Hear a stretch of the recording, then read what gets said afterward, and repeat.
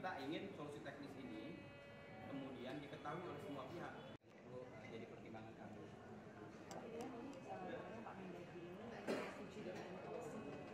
Iya, kita juga tidak. Poinnya KPU sekarang mengoptimalkan pendistribusian. Kemudian nicknya berbeda antara di KTP elektronik dengan di DP4. Nick yang ini di DP4 atas nama Pak Bahar. Oke. DP4 Pilkada serentak 2018. Kan Jawa Barat Pilkada.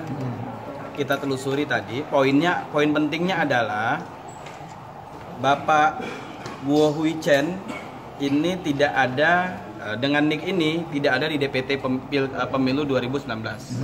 Poin pentingnya itu. Jadi terkait dengan misalnya eh, KTP tersebut kemudian ada dalam DPT sudah dilakukan penelusuran terkait dengan nick dengan nick tersebut atas nama Pak Bahar. Dan data nick tersebut bersumber dari DP4 eh, Pilkada serentak 2018. Kemudian poin pentingnya dari peristiwa ini dengan adanya eh, kekhawatiran publik bahwa warga negara asing